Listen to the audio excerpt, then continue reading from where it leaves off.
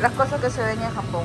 Una sandía de color roja y una sandía de color amarilla.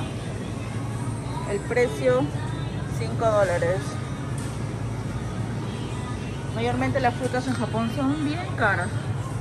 Esto ya bajó su precio, le ponen esto cuando ya pasa un tiempo determinado, lo cortan. Y también así vienen en pequeños cortaditos. 4 dólares. Y esas ya lo están bajando a 3 dólares. Mayormente las frutas aquí en Japón son bien caras.